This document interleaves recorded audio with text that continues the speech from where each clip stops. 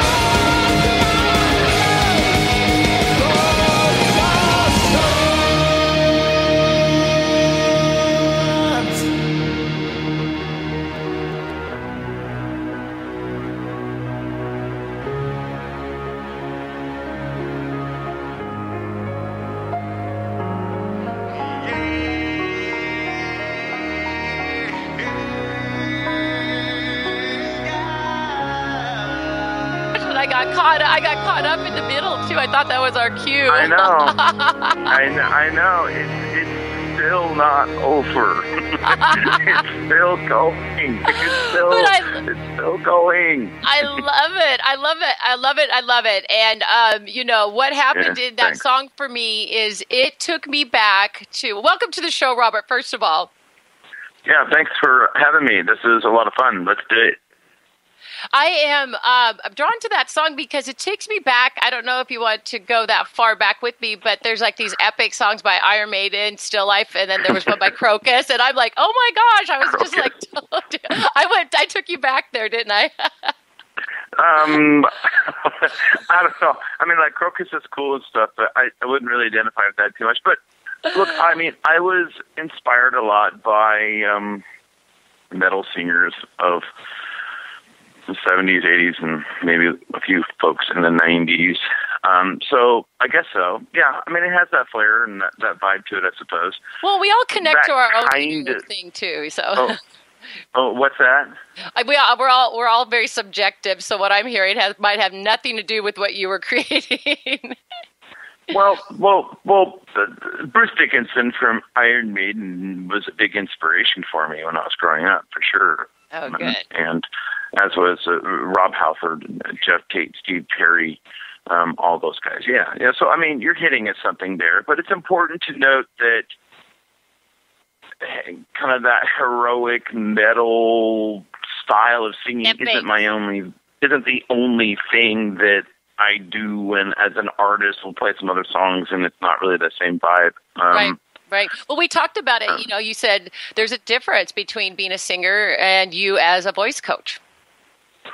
Well, for sure, for sure. Um, and that is yet another discussion, but um, absolutely, there are people that teach people how to train to get stronger, more coordinated, to become better singers. They're called voice coaches. And then there are artists that are engaged in the art form known as singing that are singing. And that might sound all a little bit hokey, but it's important – particular to listeners and people that are just maybe interested in, in, in learning how to sing and, and, and, and want to know more about what this is, one of the first things that you need to understand, that they need to understand, is that voice coaching or technique training, what I do for a living, isn't the same thing as singing. Now, they yeah. there's some cross pollination, of course. The kind of um, they're related, of course, but but they're two very different skill sets, and the general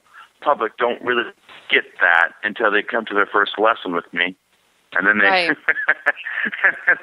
then they realize, oh, okay, okay, we're not going to hold a brush and kind of like you know think in the mirror here. Okay. Yeah, yeah. No, no, no. We're no, we're gonna we're not going to just sing songs. We're it's going work. to work out. We're going to train. Yeah. Yeah, so you said it's a uh, you know it's like a vocal workout. It's a, you're you're it's an athletic workout for your vocal cords. Well, I have a catchphrase I use sometimes in my marketing. Uh, we train vocal athletes, and not only does it sound cool, but it's absolutely true. And any great voice coach will agree with me on that statement. And that and that hits at this element of naivete that the general market may have from time to time that they don't get that. If you have no experience or any reference to vocal technique training and what that is, most people don't, then you're just going to assume that a voice lesson would be singing songs. Right. That, yeah. That, and, and, and, and, and it all boils down to it's, called, it's a fairly big story, but I know I got to keep this simple and short it boils down to to um, a couple simple facts. One of them being that what I'm doing right now, the way the musculature in my larynx and vocal cords and the the anatomy of the phonations I'm making right now uh, um, for speech right. and the vowels, these language vowels I'm using right now, are very different. They are radically different than the muscle movements and configuration of my larynx and cartilage and vocal folds and all and respiration and all that, and the vowels when I'm singing. So a speaking voice and configurations are radically different than singing voice configurations. Right. The speaking voice is an old pickup truck. it, it's an old pickup truck. It, it's wonderful for what it does, but at the end of it's not much more than articulated eight man grunting. Okay? Singing is a high performance sports car. Right. Now, to get from this clunky, throaty speech mechanism that we all live with every day and turn that into a high performance fighter jet, you need to train.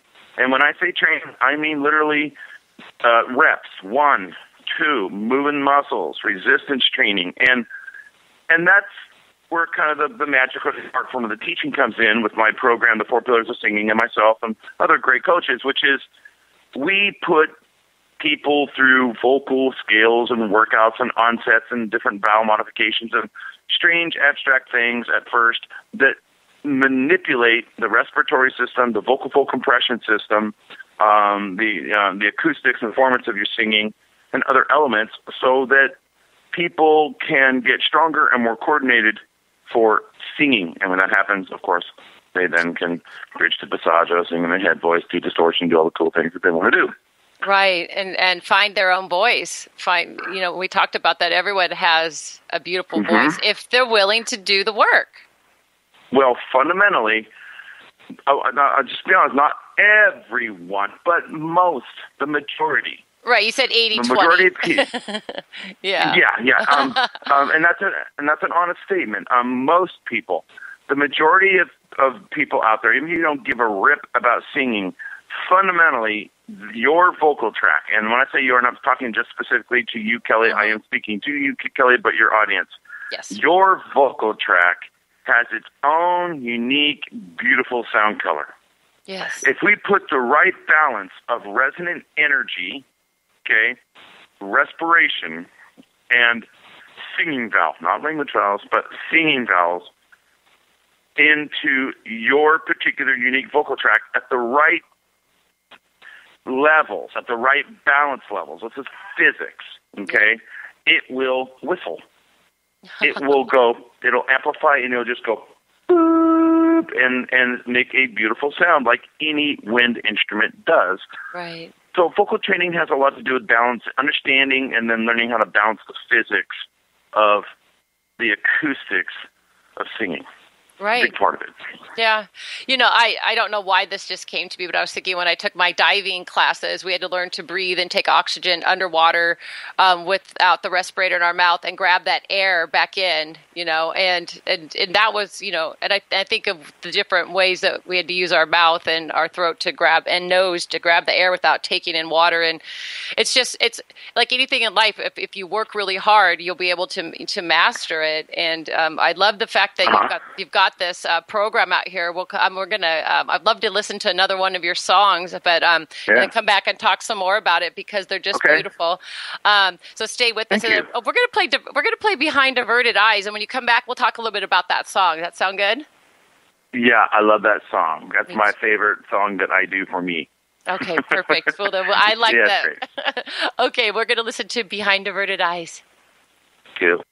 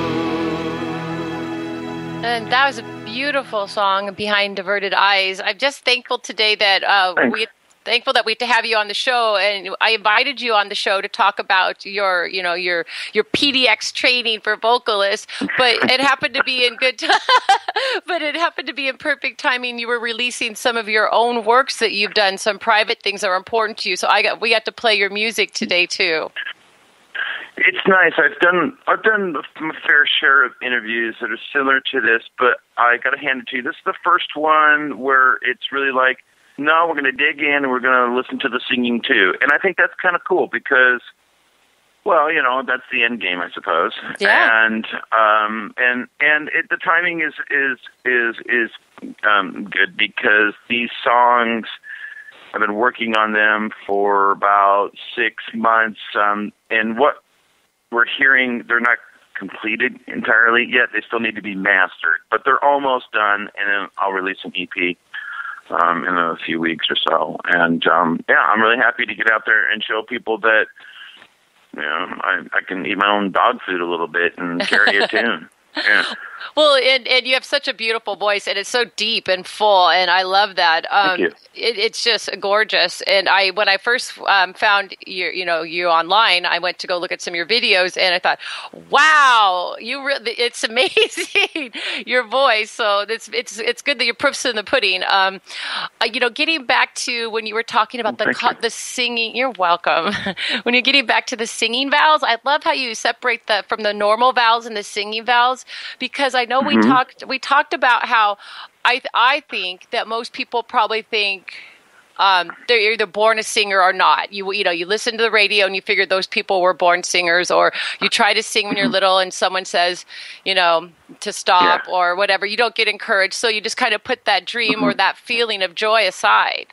And so I kind of allude that to what we think and what we say, because sometimes we think things and we don't say things. Yeah, yeah. Well, this this um, comprehensive vocal training program I put my my heart and soul, blood and tears into for the last six years. Um, Right. It's called the four it's called the Four Pillars of Singing. It's a 616 page book with seven gigabytes of video lectures, demonstrations, workouts, routines, uh, uh, audio files to train with, notation, you name it. I have not left one damn thing out of this product. It is the P90X for singers. I love it when you say the So- P90X for singers, because I mean that tells me that people could do this at home, and that's what you've built it to do. It's it is a really great metaphor. I'm not just trying to be cheeky. Um, uh, it's it. And I, and I've recently been gravitating towards that metaphor because just in the last two years, after I've laid out all the science of uh, singing and then defined my methodology in the singing at the end, and kind of what happened in the last 18 months was, oh, let's teach people how to train. So the fi- the last 150 pages of this entire training system is solely focused on teaching the student how to practice, how to train.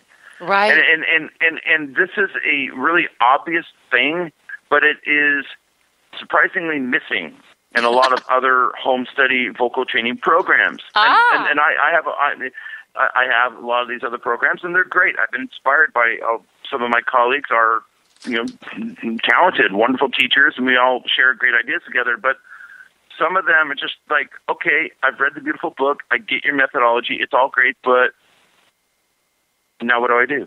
How do I train? I have Ah. a mic in my hand. I'm ready to practice.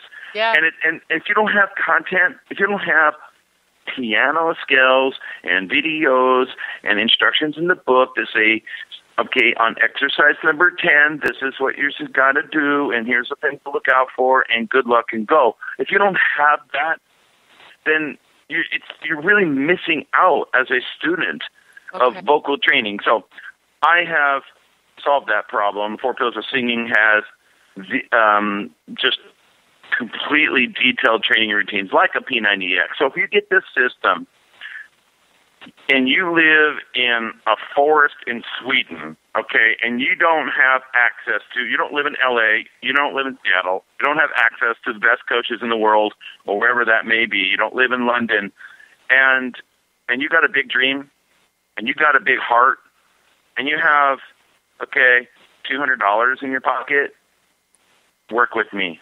get my program. And it sounds like a sales pitch, but I'm telling you, this thing is not cheap. This is not a half-assed operation. I've been working on this thing for six years, and I am, I am committed to giving the world the best home study contemporary vocal training program ever. And I think at this stage of this product's development, it's in its fourth edition, I've actually achieved that. And some kid, 16 years old, that might not have access to a great coach living in a fort in Sweden can do it.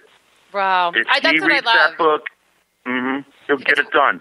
Right, it's one package. Like I was looking on your online too. You have nine discs of DVD high audio and one high intensity disc. So you basically got everything they need here to to find their own voice. You know, I wrote this today. It said, "I believe we There's all." no more need- discs. Yeah, oh, no more There's discs. no more discs. Sorry, I got to interrupt you on that. Uh, Okay. Um, we're not doing that. It's old school discs break. That's that's, that's so 90s. That's so 90s. Oh, that's I'm not, your. no, we're not doing. No, my clients, you're going to log into a website that is mobile friendly on every device, and it's full blown coursework. Oh, I'm glad you Everything. corrected me on that because we definitely want to show Yeah. the P90X up to date version. I'm going to use you, so I, you know, I, I, I definitely plan on doing that. It's been a dream of mine to learn how to sing. I was going to read something I wrote, but then I just noticed here that you were a protege to the late Maestro David Kyle. I know him. He lived down in West Seattle on Alki. And I Yeah, didn't I know. trained, I didn't know. I trained was- Maestro Kyle for 12 years, and he's met a lot, a lot of famous students. Oh, he's Yeah, yeah. wonderful. Yeah. He's wonderful. I know him from living down on Alki Beach in Seattle, Washington, and a friend of mine was seeing him, and I never realized he trained. Oh, Ann Wilson too. Okay, I just noticed that on your page. But anyways, that is um, a little feather in the hat for me. I connect to him and to home through that. I think you Yeah. you, you remember that place down there on Alki.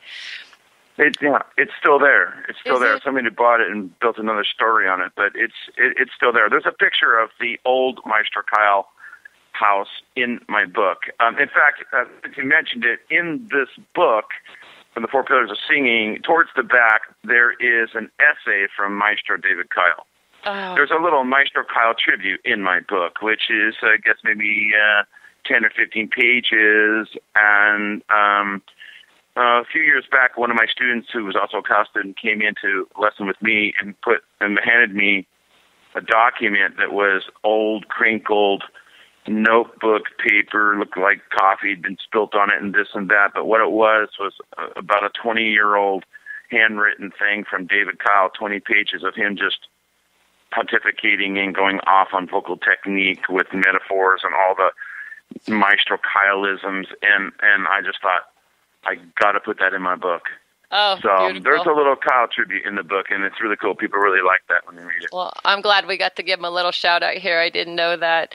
I, I you know, we deal in mental health, and I work with people in recovery. And so when I heard that, I thought, you know, we never know when someone's in pain because sometimes we mask our pain and uh, behind averted Mhm. eyes. You know what I mean? So, and then I thought, you know, Yeah. it, it, and then there, I thought, you know, what, and the reason we do this is because sometimes we're not shining in our own authentic voice, you know, which brings us to, to a vocal, you know, instruction and learning to sing. This is something I think that people, if they Mhm. learn to find their own voice, literally, and start and can train, it gives them something to participate in life in, to be a participant Mhm. in life, and, and know that everyone has a has a voice to find. I wrote this today. That says, "I believe we all need to find our own voice." It, on, it not only lies in our um, constructing our truth, but using our body, example, our vocal cords, to sing the truth and create the world around us, using the colors of our life as the real moments.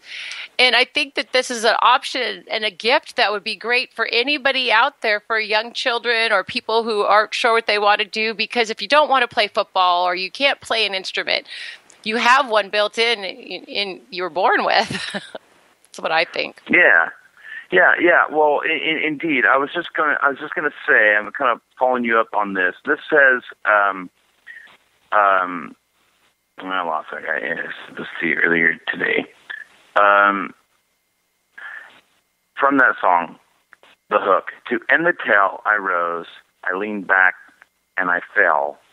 Through a gateway, I stand in a garden, alone, naked, and frail. Yes. So that can be more serious issues that we're talking about, and I'll let it be that. But it can also be your point, Kellie. It can also be somebody who's at the end of the rope, somebody that needs to feel alive again, somebody that wants something to be, they want to be good at something, somebody that has a dream, um, somebody just going through a midlife crisis, perhaps, um, somebody believes in themselves but nobody ever believed in them before. Vocal training is a path you can take. Yes, yes. And yeah, it's just really beautiful that way. A lot of my students, you know, they're not going to be super mm, stars or whatever. Maybe they will be, but even if they aren't, we don't care so much because just the getting after something, being dedicated to something and getting good at it. And in particular with singing, when you get really good at the vowels and resonating, you start getting strong. When your voice really, really does begin to transform into a wind instrument, you can feel the formant energy. You can feel the resonant energy physically in your body. And I'm not, I'm, this isn't just like some kind of new age thing. I mean, you can feel like a pressure and look how low in the back of your head on certain vowels. Yeah, and then I when was. you modify to other vowels, you can feel the resonant moving forward to the palate, and you feel it shifting around. And it's it's it's enjoyable actually. It's it's a pleasant feeling, And and it um, feels powerful because you you don't think of all the places you could have control in just that one area. I was watching one of your videos and you were showing uh, you know where the vowels come up and where they move when you're Yeah. That's yeah, you're right. Yeah, that that was a video that was explaining the TVS acoustic modes, which is part of the methodology. Acoustic modes, families or groups of singing vowels, not speech vowels, singing groups vowels. of singing vowels that share resonant energy characteristics Yeah, and therefore sound color characteristics. that gives me Some such. singing, yeah. I'm, so, I'm sorry to interrupt, but that gives me so That's okay. such. Um, I, I get excited because I didn't realize that there's a difference. So I'm trying to sing with my Mhm. speaking vowels, and no wonder it doesn't feel right all, all the, the whole time. I'll, it'll sound good to me part of the time, but then the other time I'm Mhm. like, where'd it go? You nailed it. You nailed it, Kellie. You nailed it. And I, in this book, I, I I, I failed to point out earlier. uh, What I was leading to say is, at the beginning of the book, about 100 pages is myth busting. Myth myth busting yes. about singing and stuff. And so that whole idea about some people are born to be singers and others are not. That's like the first one. That's actually I, I, I explain all of that. And and then another one of the myths are what you just said, and that is um, when we hear our heroes singing and they're singing really great. We hear anybody singing really great. We just we the general public we just assume Yeah. that that is happening through the physical and acoustic configuration of speech mode, and it's not. Yeah. it's not. and and so and that's was kind of the point I was making earlier. And you buy the book and you take some lessons, and you suddenly realize, oh my god, I had no idea. This Yeah. is a, this is. I thought we were just gonna like sing songs, and he was gonna sh- give me some free secret tips, and I was gonna learn how to you know sing like like Geoff Tate in my se- in my speaking voice. No, Right. it doesn't work that way. No. Yeah, I love that. Like Geoff Tate in my speaking voice. Yeah, there's a whole dichotomy. Like it's two different realms. First of all, you're not you're who you are, who you came to be, and second of all, there's your speaking voice and your singing voice, which are co- they're to, and we think we've all. If you don't know any better, you've thought you've always thought they were one as you're growing up. It was one path. It's the it's the physiology inside, of course, is all the same system, but the way it tilts, the way it contracts, the way it squeezes, the way it flexes, the way the tongue and palate articulates to form vowels are all radically different when you're singing well.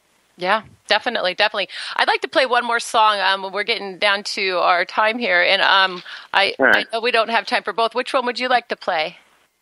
Oh, uh, what are our Nocturnal. I. I was going to play Nocturne or this live.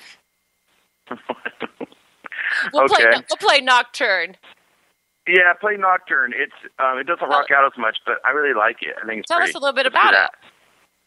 Oh, uh, about Nocturne? Yeah. Okay, it's got a good story. I was in a band about 15 years ago, and it was a great band. And like most bands, you know, it it it, it crapped out uh, for reasons I we don't have time to get into. but there were really good songs in that band, and one of the most beautiful songs was this song called Nocturne. So I was digging through old files and old hard drives and things, and I found this this old song Nocturne, and I gave it to my um, songwriting producer friend that I work on with uh, with songs, um, Zach um, uh, Weedle and said, I said, update this sucker, make this thing sound killer. And he did it. And he handed me back a new Nocturne 20 years later. and mind you, I'm 20 years more mature, 20 years better singer. And then I took it back to the same studio and the same engineer that recorded it 20 years ago and said, listen to this. And he looked at me, his jaw dropped and goes, oh my God, I love this song. I love this song. And I said, we're going to do it again and we knocked it out of the park. So this is the new version of Nocturne, the uh, Nocturne 2015. I like Nocturne 2015. All right, we're going to listen right now. Stay with us. All right. Okay. Good. Good.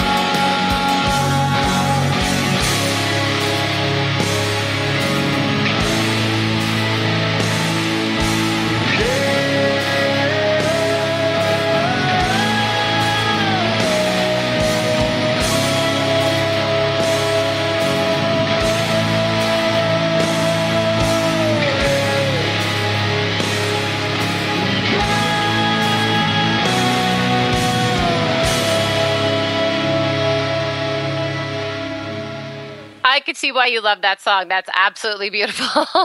I know, I know. I love that I song.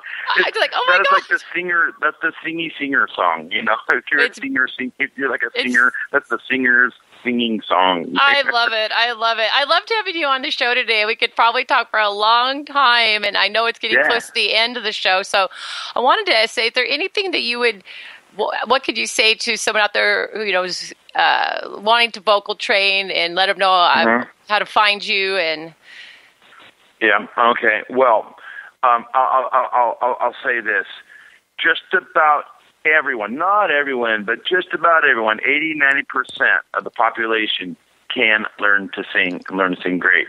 It's just Yay! a sport. You got to strengthen. So, so believe in that. If you got a big heart and you got a good program and a good coach, you can do it. Of course, you got to practice as well. My program is the Four Pillars of Singing. Um, if you go online to Google and type in the four pillars of singing, you'll get like 20 pages of videos and different things about it and reviews and what have you. The program's been sold in over 90 countries around the world, and in six years, I have a hundred percent score, five star reviews from anyone that's ever bothered to invest in this training program and bothered to give me a review. It's been a five star review. Awesome. Yeah, so Awesome. we're going to get the job done, and I would look forward to helping people um, get stronger and more coordinated for singing. Yeah, well, I'm going to be one of those students. I uh, it's not like a hidden desire. This has been something that's been in me my whole life. I remember when I Mike I tried out for Contiques in 7th grade and I didn't get I didn't make the cut and I went home and got on my knees and cried to God, how come I Oh. couldn't sing? Yeah, I was so devastated. And I've talked about this on the show off and on and all my friends know it that I want that I've always wanted to learn how to, you know, take vocal lessons. So, it's just I'm spirit led. The time is right. I saw you. We have you on the show. I'm going to definitely do this, and I live it out loud, so I'll be um, when I I told you when I uh, don't go to school this summer. Uh, I'm going to take classes with you, and then I'll be able to let Yeah. uh, kind of track some of that for some of the followers and people out there too to see how it works. Because I will show them the before and after. I'm not afraid. Yeah, for sure. Let- Let's do that. Um, I'll send you a copy of it uh, later today as well, Kellie, so you're taken care of. And as uh, um, thank you for allowing me to be on your cool show. Wow, thank you. Thank you so much. I'm totally excited and I can't wait. So we're de- we're definitely going to do this. I want everybody to know that you can go to thevocaliststudio.com. It's uh, thevocaliststudio.com. You can find everything that you need to know about Robert there, the uh, the four pillars of singing. There's a contact number there if you're um, overseas or if you're um, it's an 800 phone number. You could call him at 800-269-9040. We thank you so much for being on the show today and I look forward to talking to you again soon. You too, Kellie. Take care. Bye bye. Bye. Thanks.